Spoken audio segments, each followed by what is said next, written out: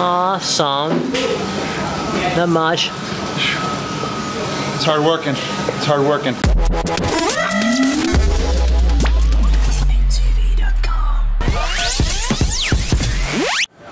Disc golf is a sport that requires strength, flexibility, agility, and power. The throwing motion is a very explosive athletic move that places high demands on the body. Training in disc golf is often overlooked, but it essentially it helps you prepare your body to take your game to the next level.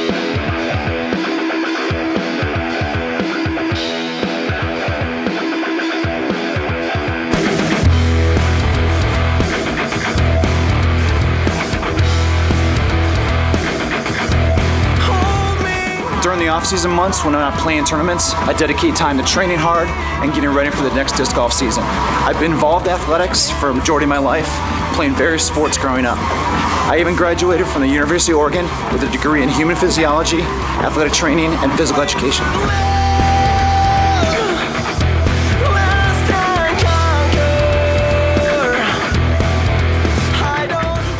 I usually start with a light jog to warm the muscles up and prepare them for training. I also like to stretch the body out, lengthen the muscles, and get them ready for the workout. It's important that you never stretch cold muscles. Stretching also reduces the chance of pulling something or possibly injuring yourself while training.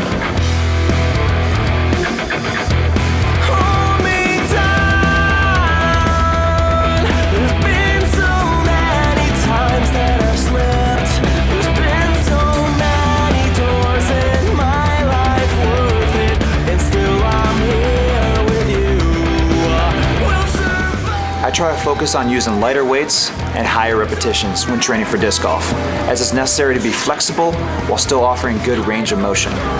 But also keep in mind that disc golf is not like one of those sports where you need to be big and strong to be a great player, because trust me, I wish that it was.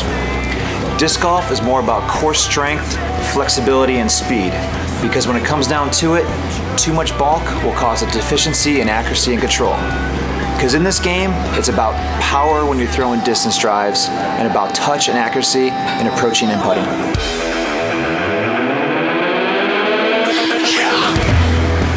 The shoulders, upper back, and arms generate the most power for throwing distance shots. Of those, the shoulders are the most vulnerable if they're not properly conditioned. So you really need to concentrate and focus on strengthening and conditioning your shoulders.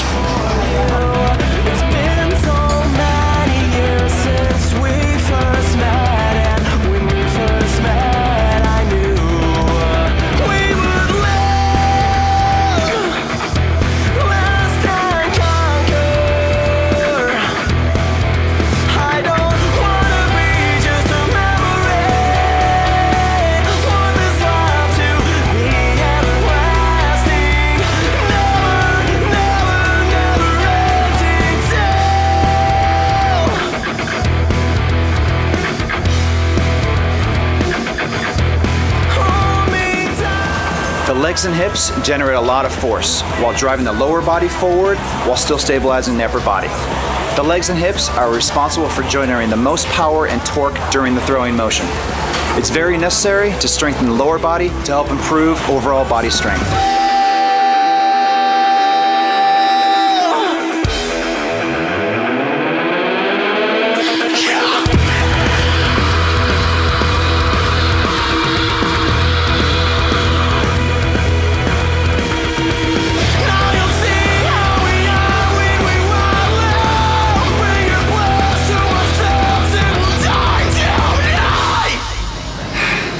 Sleep good tonight.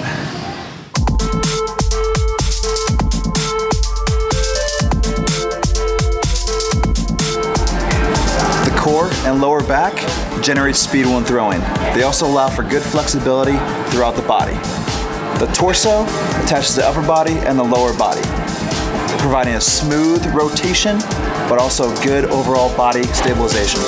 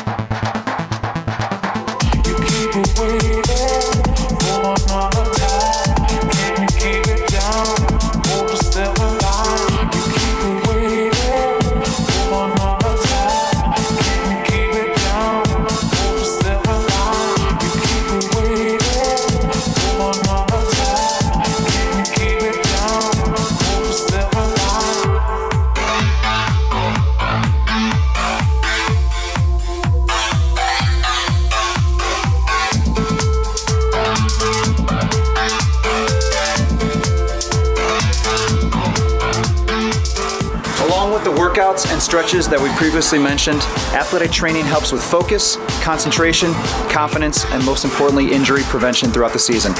Thanks to SOTS Fitness Club for having us today, and the best of luck with your disc golf training.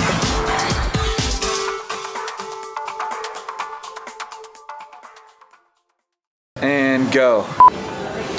The sport of disc golf, the throwing motion is a very explosive the throwing motion is a very explosive. Really? Good for power for driving. It's good to have good a touch.